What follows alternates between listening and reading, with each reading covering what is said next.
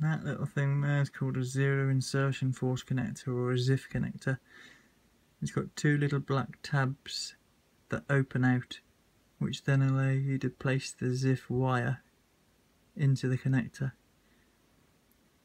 I'll open one side of it up first, you'll see the idea. So you just got to get your nail in that bit there, look. And then pull outwards, you see how it snaps out slightly?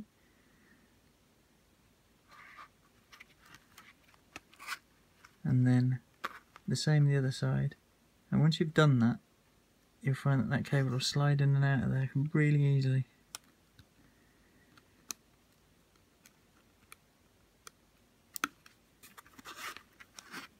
Ready? See how easy it pops out now?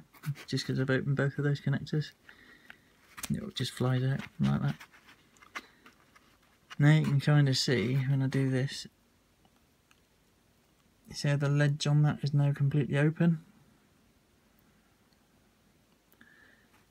And then with the contact side up, you need to just get that back into there. It shouldn't be too difficult. It's more a case of room than anything else, so I'll just hold that there. Still see it in the image. And then that just goes back in there.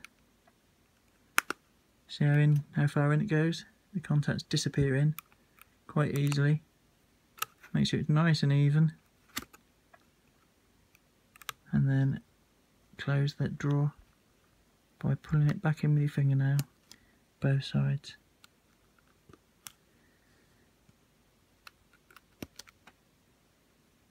See it's perfectly closed now.